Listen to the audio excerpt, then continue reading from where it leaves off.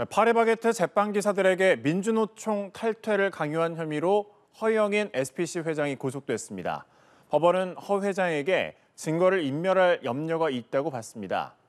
앞서 SPC 측은 검찰의 구속영장 청구에 강하게 반발했습니다. 김지수 기자입니다.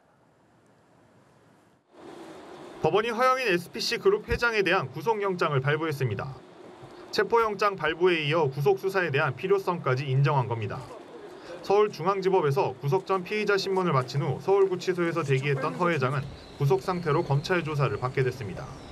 허 회장은 2019년 7월부터 2022년 8월까지 SPC 자회사인 PB파트너즈가 민주노총 조합원들을 상대로 노조 탈퇴를 종용하고 사측의 친화적인 한국노총의 조합원 확보를 지원하는 데 관여한 혐의를 받고 있습니다.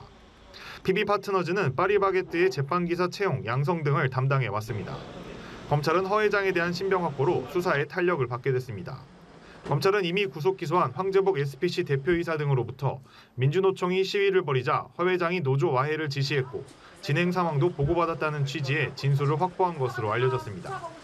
검찰은 검찰 수사관을 통해 수사 정보를 빼돌리려 했다는 혐의에 허 회장이 관여했는지도 조사할 전망입니다. 그룹 총수가 구속되면서 SPC는 오너의 사법 리스크가 수면 위로 올라오게 됐습니다. 그간 허 회장은 수차례 검찰 수사와 재판을 받아왔는데 증여세를 회피하려 계열사 주식을 저가에 팔도록 지시한 혐의에 대해선 지난 2월 1심에서 무죄를 선고받았습니다. 앞서 SPC그룹은 충분한 방어권 보장을 안 했다며 검찰의 구속영장 청구에 대해 강한 유감을 나타냈습니다.